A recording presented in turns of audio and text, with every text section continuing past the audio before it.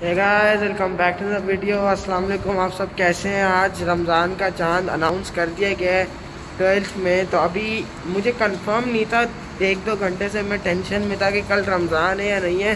लेकिन आज finally confirmed हो गया कि कल ही रमज़ान है।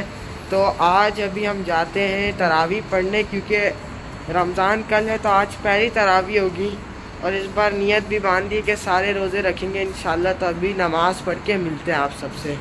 तो हम तरावी पढ़ कर आ चुके हैं और कल पक्का रोज़ा है। जो जो दुबई में रहता है, मैं बता रहा हूँ। या पूरे इमारात या मिडल ईस्ट में रहता है तो बता देता हूँ, कल थर्टीन थर्टीन अप्रैल को पहला रमज़ान है।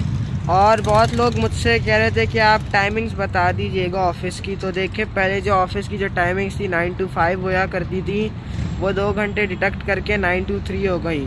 और जो स्कूल सात बजे शुरू होता था एक बजे ख़त्म होता था स्कूल नौ से एक हो चुका है।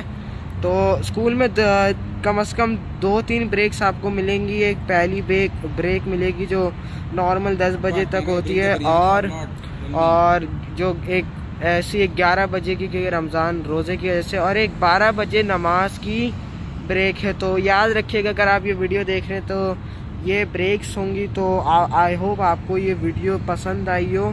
तो आज हम आपको कुछ दिनों में आपको मैं रमज़ान का पूरा दिखाऊँगा।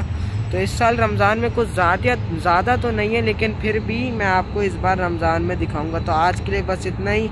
मिलते हैं अगली वीडियो में। जब तक के लिए खुदा हाफिज़।